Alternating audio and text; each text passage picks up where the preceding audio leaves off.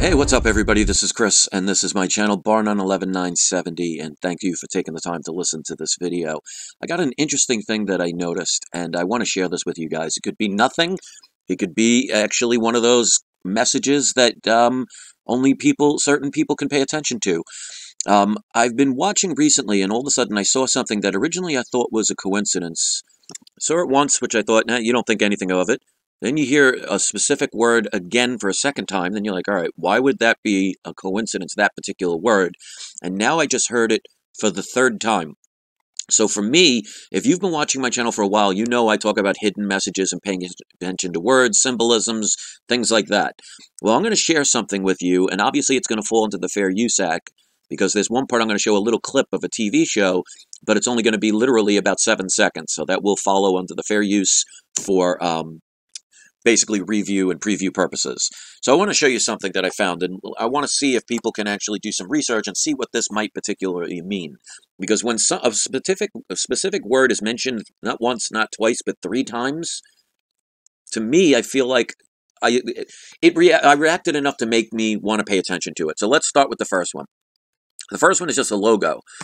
Now, if you know anything about comic books, and obviously there's, I, I have another comic, I have a comic book channel that just started about a year and a half ago, and I'm starting to understand the reason why I, all of a sudden, of all the choices I can go in a direction, I decided to get back into comic books because otherwise I probably wouldn't have noticed these things. So let me show you the first thing. Now, the first thing is the new Spider Man movie that's coming out.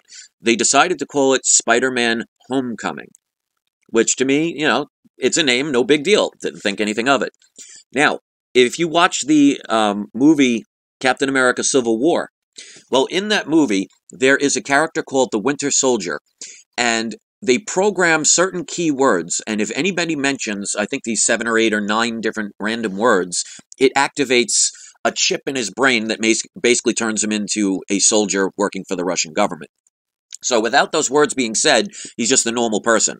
So they just randomly pick words that trigger this uh, Manchurian event, so to speak. Now, one of the words happens to be homecoming. So I find that word very strange that they said it twice, but I thought, all right, it could potentially be a coincidence. The people that wrote the film said, you know, it's a coincidence. I just find that there's no coincidences. But now I heard it for a third time. Now, this is all happening in the span of about a month or less. So to me, it's a, it's I, I view it as a potential message so let me show you the clip of what I just heard in Marvel's TV's Agents of S.H.I.E.L.D. And again, this will fall under the Fair Use to Act for review purposes, and I'm just showing a small sample. So listen to what she says here. Baghdad base. Come in. This is Agent Daisy Johnson. I'm coming home. Repeat. I'm coming home. All right, so we're going to stop it right there. Now, she didn't say homecoming, but she said, and re she reiterated twice, I'm coming home. So, in the span of about a month, we have a movie called Homecoming. We have one of the key words that activates a super soldier, the word homecoming.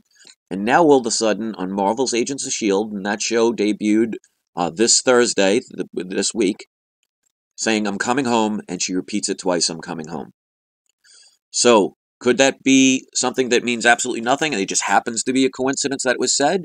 It sure could. I'm not going to suggest the saying I know everything, but I just find it strange that that word has meaning. So does that mean there's some kind of homecoming coming in the future? And what does that mean?